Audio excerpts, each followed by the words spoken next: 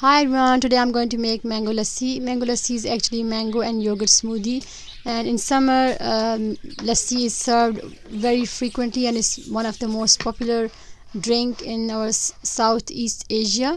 Uh, I would recommend use Sindhri mango which is actually oval in shape and it tastes very sweet too and this mango will make your lassi even more tastier. So I'm using here two large mangoes add them in a blender and 2 cups of yogurt. If you do not like it too sour then make sure the yogurt is not too sour. My 1 cup is 250 ml 3 cups of whole milk and 1 cup of water.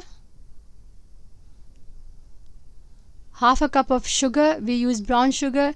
You can have white sugar if you like and blend everything thoroughly and your lassi is ready to drink.